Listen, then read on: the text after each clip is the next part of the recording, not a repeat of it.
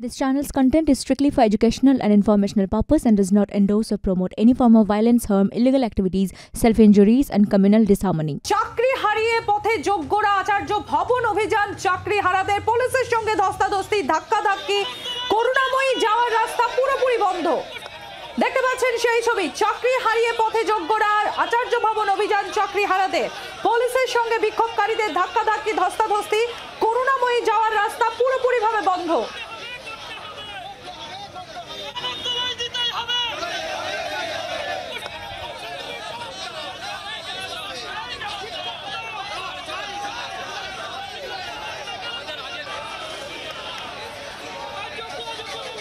আমাদের প্রতিনিধি রনয় তিওয়ারি সরাসরি রয়েছেন আমাদের সঙ্গে। রনয়, চাকরি হারিয়ে এখন রাস্তায় নেমেছেন যোগ্যরা, শুধু তাই নয় তাদের এই অভিযানে পুলিশের সঙ্গে রীতিমতো ধাক্কাধাক্কি হয়। কি চলছে এখন ওখানে? কি অবস্থা?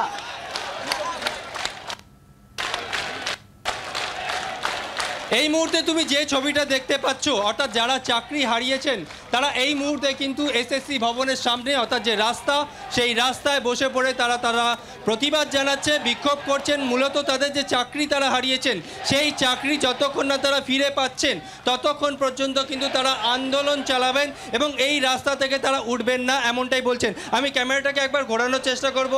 তুমি দেখতে পাচ্ছ, এখানে কয়েক হাজার চাকরি হারা তারা কিন্তু আজকে এখানে এইভাবে জমায়েত করেছেন এবং প্রত্যেকে কিন্তু একই দাবি তুলছেন আজকের এই জায়গা থেকে যে তাদের চাকরি চাই এবং এই চাকরি কীভাবে তারা ফিরে পাবেন তারা বলতে পারছেন না। যেভাবে আদালতের নির্দেশ রয়েছে বা এসএসসি কমিশন যে যে বিষয় বলছে, এই মুহূর্তে তোমাকে আরেকবার দেখাবো ছবিটা। এই মুহূর্তে বিক্ষোভ প্রতিবাদ এখানে ক্যামেরাটাকে ঘোরানোর জন্য বল রনয় হঠাৎ করে আমরা দেখতে পেলাম যারা চাকরি হারা যোগ্য প্রার্থীরা তারা হঠাৎ করে উঠে দাঁড়িয়েছেন সেখানে আরও একটু হইচই হচ্ছে কি চলছে ওখানে এখন যারা এসেছেন তাদের সঙ্গে কথা বলব আপনারা চাকরি হারিয়েছেন আজকে আপনারা এখানে জমায়েত করেছেন মূলত দাবিটা কি আপনাদের দাবিটা হচ্ছে আমরা আমরা হয়ে গেছে আমাদের চাকরি ওটা পাবলিকের ভালো হবে এটা আমরা চাই। আমরা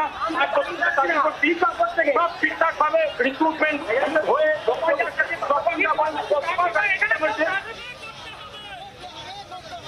তোমায় দিতেই হবে যে ছবি আপনারা দেখছেন এই মুহূর্তে আচার্য ভবনের সামনে সেখানে করুণাময়ীতে প্রচুর যোগ্য চাকরি হারা তারা এসে পৌঁছেছেন এবং তাদের আজ এই আচার্য ভবন অভিযান কর্মসূচি যেখানে পুলিশের সঙ্গে বিক্ষোভকারীদের ব্যাপক ধাক্কাধাক্কি, তীব্র উত্তেজনা গোটা এলাকায়। করুণাময়ী যাওয়ার রাস্তা পুরোপুরিভাবে বন্ধ, চাকরি হারিয়ে পথে যোগ্যরা। গত কয়েক বছর ধরেই স্কুলের বিভিন্ন পদে চাকরি করছিলেন এবং যাদের নিয়োগ যোগ্য বলে দাবি করছেন তারা, তাদের চাকরি দিয়েছে আদালতের রায়ে। অযোগ্যদের সঙ্গেও তাদেরও চাকরি বাতিল। এক যোগে ছাব্বিশ হাজারের মতো চাকরি বাতিলের নির্দেশ দিয়েছে হাইকোর্ট। আর এবার পথে যোগ্য চাকরি হারানা। নান্টু হাজরা আমাদের প্রতিনিধি রয়েছেন আমাদের সঙ্গে। নান্টু কি পরিস্থিতি এই মুহূর্তে সেখানে? দেখো, তোমাকে জানিয়ে রাখি যে এই মুহূর্তে কিন্তু চরম উত্তেজনা রয়েছে এসএসসি ভবন, যেটা আচার্য সদন যে বিল্ডিং সেই বিল্ডিং সামনে। ইতিমধ্যেই প্রচুর সংখ্যক যারা চাকরি হারা যারা শিক্ষক রয়েছেন, তারা কিন্তু জমায়েত হয়েছেন এবং পুরো রাস্তা যেটা উত্তর থেকে করুণাময় যাওয়ার যে রাস্তা, সেই রাস্তা পুরোপুরিভাবে বন্ধ রয়েছে এবং তোমাকে জানিয়ে রাখি যে আজকে করুণাময়ীতে এই চাকরি হারা শিক্ষকরা, তারা কিন্তু জমায়েত হয়। এরপরে তারা সেখান থেকে মিছিল করে এসএসসি ভবনের উদ্দেশ্যে যখন রওনা দেয়, করুণাময়ীতে কিন্তু বিশাল পুলিশ বাহিনী তারা সেই সময় কিন্তু তাদেরকে বাধা দেয়। কিন্তু সমস্ত বাধা অতিক্রম করে রীতিমতো দৌড়ে আর ছুটে তারা কিন্তু এসএসসি ভবনের দিকে ছুটতে শুরু করে এবং তারপরে সোজা এসএসসি ভবনের সামনে আসে, সেখানে পুলিশ যারা ছিল তারা ব্যারিকেড দিয়ে দেয় এবং সেই ব্যারিকেড ধরে কিন্তু ব্যাপক ধাক্কাধাক্কি শুরু হয়ে যায়। এই মুহূর্তে চাকরি যারা রয়েছেন তারা এখানে কিন্তু সেই ব্যারিকেডের সামনে এবং রাস্তায় বসে পড়ে তারা বিক্ষোভ দেখাচ্ছে। প্রচুর পুলিশ মোতায়েন করা হয়েছে এবং আমরা যেটা জানতে পারছি, আরও পুলিশ ফোর্স পুলিশ ফোর্স কিন্তু নিয়ে আসা হচ্ছে।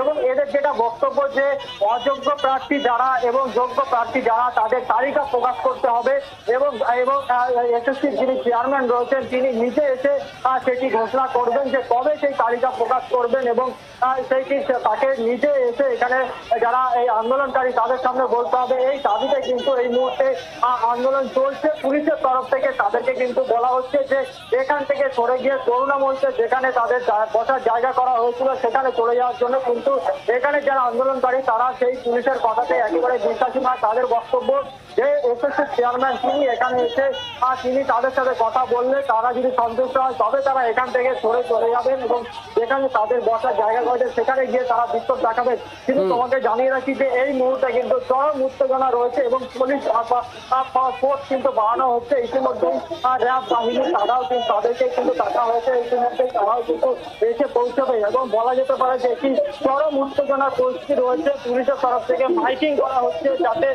পুলিশের কথা শুনে তারা করুণাময় চলে যায় কিন্তু আন্দোলনকারীরা এই মুহূর্তে তারা কিন্তু তাদের যে আন্দোলন সেই আন্দোলনে অনর রয়েছে।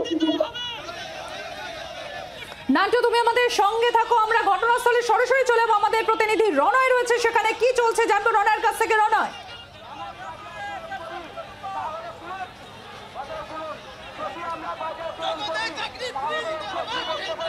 এই মুহূর্তে তুমি ছবিটা দেখতে পাচ্ছ সম্প্রীতি। যারা চাকরি হারিয়েছেন তারা কিন্তু আজকে এইভাবে এসএসসি ভবনের সামনে তারা জমায়েত করেছেন এবং এখানে যারা এসছেন তারা প্রত্যেকেই শিক্ষক, শিক্ষিকা এবং শিক্ষাকর্মী। তারা মূলত তাদের যে দাবি যে যেভাবে তাদের চাকরি চলে গিয়েছে তারা যাতে আবারও তাদের চাকরি ফিরে পায়, সেই জন্য তাদের আজকে এই জমায়েত এবং আজকে তারা কমিশনের সঙ্গে দেখা করতে এসছেন এবং কমিশনকেই বলতে হবে তারা তাদের চাকরি কীভাবে ফিরে পান। এখানে এখানে একজন এখানে আলাদা করতে হবে। আমাদের মূল দাবি যোগ্য এবং আমরা অযোগ্য সেটা প্রমাণ করুক এসএসসি আমাদের কাছে বৈধ সমস্ত কাগজপত্র আছে। আমাদের কাছে সমস্ত বৈধ কাগজপত্র আছে। পরীক্ষা ন্যায্যভাবে দিয়েছি ইন্টারভিউ দিয়েছি সমস্ত ধরনের ভেরিফিকেশন ক্লিয়ার করেছি। পাঁচ বছর পাঁচ বছর চাকরি করার পর আজকে চোর আমাদের ক্লাসরুম ফিরিয়ে দাও আমাদের প্রাণ ফিরিয়ে দাও আমাদের মান সম্মান ফিরিয়ে দাও। কেন আজকে এটা হবে? শিক্ষক সমাজ কেন আজ শিক্ষক সমাজ কেন আজ রাস্তায় থাকব আমরা? কেন বঞ্চিত হব? সমাজের কাছে জোর হব সারা জীবন পড়াশোনা করে একদমই এখানে যারা চাকরি হারিয়েছেন তারা কিন্তু এইভাবে প্রতিবাদ করছেন। এখানে আমি তোমাকে একবার ছবিটা দেখাবো। প্রশান্তকে বলব ছবিটা দেখানোর জন্য। চাকরি যারা হারিয়েছেন তাদেরকে কিন্তু শান্ত হতে বলা হচ্ছে। তারা কিন্তু এখানে বসে পড়েছেন। এখানে যা- এখানে যারা রয়েছেন তাদের সঙ্গে একবার কথা বলব। হয়ে গেছে মা বাড়িতে অসুস্থ বৃদ্ধ বিধবা মা। আমার চাকরি চলে গেলে আমার সংসারকে কে খাওয়াবে? সেই জবাব দিক স্কুল সার্ভিস কমিশন। আজকে যোগ্য আর অযোগ্যদের আমরা স্কুল সার্ভিস কমিশন যদি শান্তিপূর্ণভাবে সেগ্রিগেশন করে দেয় valid or illegal and illegal ক্যান্ডিডেটসদের মধ্যে এবং লিগাল ক্যান্ডিডেটসের মধ্যে যদি সেগ্রিগেশনটা করে দেয় শান্তিপূর্ণভাবে সুপ্রিম কোর্টের সামনে তাহলে আমরা শান্তিপূর্ণ বিক্ষোভ করে চলে যাব। আর নাহলে আরও অনেক কিছু হতে পারে। কমিশনের সঙ্গে কি দেখা করবে? চব্বিশ ঘণ্টার মধ্যে এসএসসি কে যোগ্য আর অযোগ্যের লিস্ট দিতেই হবে। একটা গভর্নমেন্ট বডি এসএসসি, তার কাছে সবকিছু আছে। যতক্ষণ না করবে আমরা এখান থেকে ছাড়ছি না। এটাই আমাদের দাবি। আমরা কেউ সাদা খাদার মাল নয়। আমরা ওএমআর রীতিমতো ফিল করে, পরিশ্রম করে, মেধা দিয়ে চাকরি পেয়েছি, সেটা আমরা রাখছি। সম্পূর্ণ অরাজনৈতিক আন্দোলন সম্পূর্ণ অরাজনৈতিক আন্দোলন। সমস্ত রাজনৈতিক পার্টি আমাদেরকে নিয়ে খেলছে। আমরা কোনো রাজনৈতিক ছাত্র ছায় নয় আমরা যোগ্য। সেই যোগ্যতার প্রমাণের দাবিতে আছে এখানে এসে সকল শিক্ষক সমাজ আমরা যোগ্য এবং বঞ্চিত চাকরি প্রার্থীদের পাশে আছি। এই সকল শিক্ষক মহাশয়রা যোগ্য হওয়া সত্ত্বেও আমরা শিক্ষক গোটা শিক্ষক সমাজ আমরা কিন্তু এই একদমই একদমই। এখানে তুমি দেখতে পাচ্ছ ওএমআর সিট। সেই ওএমআর সিট নিয়ে কিন্তু এখানে এইভাবে প্রতিবাদ করছেন একজন চাকরিহারা শিক্ষক। এবং শিক্ষা শিক্ষিকা শিক্ষাকর্মী তারা প্র- প্রত্যেকে কিন্তু এইভাবে প্রতিবাদ করছেন। এখানে আমি তোমাকে আরেকবার ছবিটা দেখাবো। এখানে যারা রয়েছেন বুদ্ধিজীবী রাজ কোথায়? আপনারা দেখতে পাচ্ছেন না? নাকি মোমবাতি কম হয়ে গেছে? আমরা চাঁদা তুলে আপনাদের মোমবাতি দেবো। ট্রেনের কালি শেষ বুদ্ধিজীবী। বুদ্ধিজীবী শিক্ষকদের চোখের জল আগামী সমাজকে মানতে হবে আগামী প্রজন্মকে। নাম নেই কোন লিস্টে নাম নেই। আমরা যোগ্য আমাদের যোগ্যদের লিস্ট ইমিডিয়েট প্রকাশ করতে হবে সুপ্রিম কোর্টে জানাতে হবে আমাদের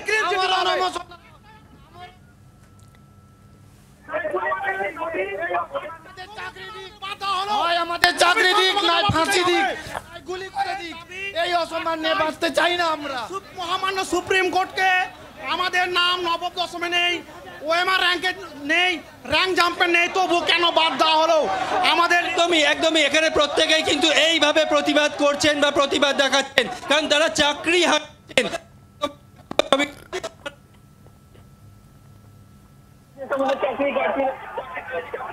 রয়েছে এবং তোমাকে সেই ছবিটা তুমি দেখতে পাচ্ছ সম্প্রীতি।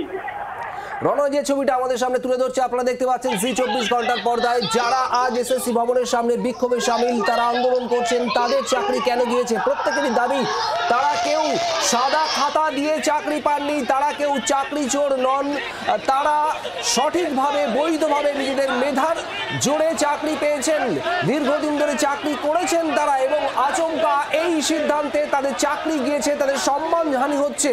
এবং এসএসসি কে যোগ্য এবং অযোগ্যদের তালিকা আলাদা করে দেওয়ার দাবি তুলছেন তারা। রণয় আবারও জানার চেষ্টা করব, যারা এই মুহূর্তে এই আন্দোলনে পথে নেমেছেন, কি বলছেন তারা?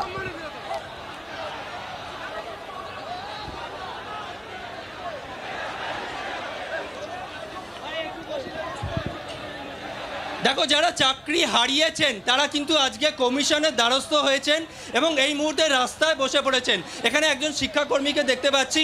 আপনি কোথা থেকে আসছেন? আমি আরামবাগ থেকে আসছি। আরামবাগ থেকে আসছেন? আমাদের দাবি আমাদের যে যোগ্য প্রার্থীর যে লিস্ট সেটা প্রকাশ করুক। কমিশনের কাছে আছে এই লিস্ট আমরা জানি। কিন্তু তা সত্ত্বেও দু নম্বরে যে সমস্ত ক্যান্ডিডেট রয়েছে, তাদেরকে মিলিয়ে দেওয়ার জন্য আমাদের লিস্ট প্রকাশ করছে না। আমরা আজ পথে বসেছি, শুধু আমরা নয়, আমাদের সাথে সাথে আমাদের ফ্যামিলি তারা পথে বসেছে, আমরা এখন কি খাব? আমাদের যোগ্যতা রয়েছে, কোথাও আমরা মানে eighty five percent ninety five পার্সেন্টের মার্কসের নিচে পাই না। আমাদের যেখানে যোগ্যতা রয়েছে, আমরা কেন সেখানে এরকম সাফার করব? এই যোগ্যতার জন্য, এই দাবিতে নিয়ে আমরা আজকে আচার্য সদন ঘেরাও করেছি। আমাদের লিস্ট অবিলম্বে প্রকাশ করতে হবে। এটাই আমাদের আজকের উদ্দেশ্য। স্কুলগুলোতে কোনো টিচার নেই। স্কুলগুলো কীভাবে চলছে, আমরা কীভাবে চালাচ্ছি, সেটাই একটা বিষয়। আমার স্কুলে আমি বলছি পঁয়ত্রিশশো স্টুডেন্ট আটজন পারমানেন্ট টিচার আটজন পারমানেন্ট টিচার তাহলে স্কুলগুলো কীভাবে চলছে? ওনাদের কি লক্ষ্য স্কুলগুলোকে বন্ধ করে দেওয়া? এটা কি লক্ষ্য? যারা দুর্নীতি করল, তারা ঠান্ডা ঘরে বসে আছে। আর আমরা যোগ্য প্রার্থী হ্যাঁ পড়াশোনা করে যথেষ্ট পড়াশোনা করে একটা চাকরির পরীক্ষার জন্য কতটা পড়াশোনা করতে হয় তারপরে আমরা এই এত বছর ধরে চাকরি করছি সাড়ে পাঁচ বছর চাকরি করা হয়ে গেছে তারপরে কীভাবে একটা এই রায় হতে পারে একটা প্যানেল কীভাবে ক্যান্সেল হতে পারে একদমই সে শুনতে পাচ্ছ, প্রত্যেকে কিন্তু একই বক্তব্য তাদের, তারা যেভাবে চাকরি হারিয়েছেন কারণ তারা তাদের চাকরি ফিরে ফিরে পেতে চান। এখানে তুমি দেখতে পাচ্ছ আরও অনেকেই রয়েছে। এখানে তুমি দেখতে পাচ্ছ কি এইটা এরকম আমরা যোগ্য এসএসসি কমিশনের অযোগ্যতায়, ব্যর্থতায়, তাদের দুর্নীতিতে আমাদের যোগ্যদের চাকরি হারিয়ে গেছে। ওদের পকেটে আজ অনেক অনেক টাকা। আমার পরিবারে আমি একা। আমি কোনো ব্যবসাকে অপমান করতে চাই না। বাংলার আওয়াজ, বাঙালির আবেগ। জি, চব্বিশ ঘণ্টা।